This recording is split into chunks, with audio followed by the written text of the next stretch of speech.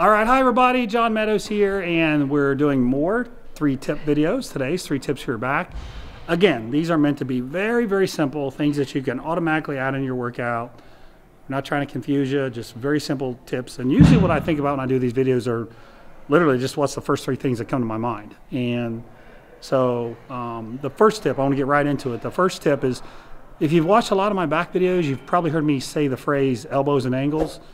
And I feel like when you train your back, that's like the number one thing you've got to be aware of. It's just elbows and angles.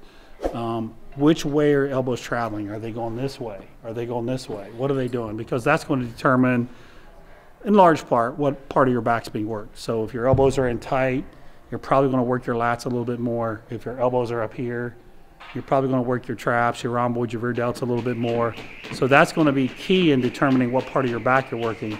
So that simple awareness of the angle is number one. Because a lot of people don't really understand just that basic, and that's a very basic principle. That's 101. So I said angles. The other part is your elbows. So what you see when you see a lot of people do their back is it almost turns into a bicep exercise, really.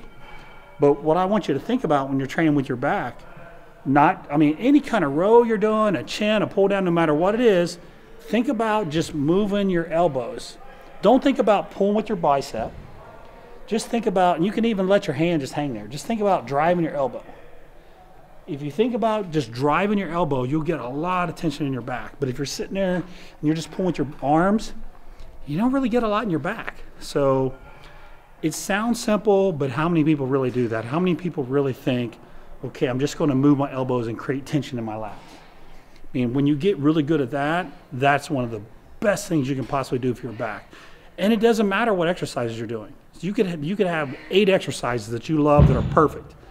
But if you don't conquer that tip, that just drawing your elbow back and really using your lats or your rhomboids and traps, whatever you're trying to work, you'll you'll you'll really hold yourself back. So it's not just picking the right exercises, it's really understanding that very basic fundamental principle of execution. So that's the first thing that comes to mind. Okay, the next tip, number two, is another really basic tip, and it's your posture. Um, is I watch people train back, I see them lose their posture. They get um, this concave round look to their to their chest. Um, so for so for example, maybe they're doing pull downs, and what I would like to see is I would like to see your chest up and you have good posture. So you can again remember that first tip, drive your elbows, right? So something like this. But what do you see? You see people doing this, punching over, pulling with their biceps, and when they start doing that hunching, they've already lost a tremendous amount of tension in their back. So your posture should be just good posture. Like you don't need to overarch.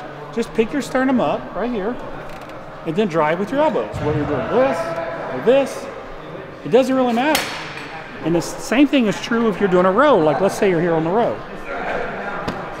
Imagine I'm doing a row right here. It's real heavy. Imagine I got the whole stack on it. You know, you can pull like this if you want, which would be more biceps, but I'd rather you have good posture. So chest up, lead with your elbows, and draw them in. Like so, like that, as opposed to like this. So if you catch yourself losing your posture, you're going to lose, you know, you're not training your back as effectively. Just remember, tip number one, elbows and angles. Tip number two, good posture just those basic things right there are going to take you a long way in your back training. Okay, tip number three is using an extreme range of motion, full range of motion, almost extreme range of motion. I feel like most people doing their back, they, you know, whether it's a pull down or a row, they don't really do any sets, and you don't have to do all your sets with this extreme range of motion. Um, in fact, I would say to not do that, get a lot of blood in your back, and then do an extreme range of motion. But one of the things that I really think helped my back through the years was incorporating this extreme range of motion concept. So what that means simply, it's just when you have blood in your back. So let's say you've done two exercises. Normally this would be maybe your third exercise. Whatever exercise you're doing, you just use an extreme range of motion. So one example would be like a supported row. So, so normally, God, this thing's heavy. Normally you might do it like this. So with the extreme range of motion, you're going all the way down, really stretching, and then coming up all the way down, like that.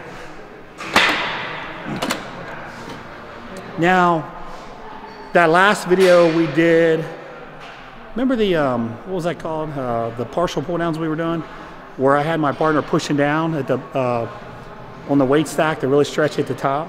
That was an, ex- that was an example too. So let's say you're on a pull down. Let's say you're doing a one arm pull down. So normally when I have people do these, they're driving down right here. But if you want to incorporate an extreme range of motion, let it come up and stretch it all the way up. Drive down all the way up. So it's not going to be, again, it's not going to be the first exercise you do, but it will be like third. And again, that partial pull down, come down, then have somebody push on the stack when the weight's coming up to stretch you. But so it's a row, any row or pull down that you do, those are the two types of exercises that you want to incorporate this principle. But there's something about that extreme stretch, training that muscle when it's stretched out, lengthened, that I think is really beneficial.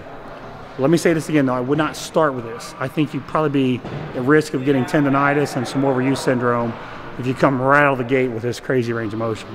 So that would be my third and final tip. Package these up and I think your back workouts are going to be more effective. It's simple. Anybody can do these tips. Anybody can add these tips in. But um, that's that's the three. Let me know what you think. I appreciate everybody's support and we'll see you next time.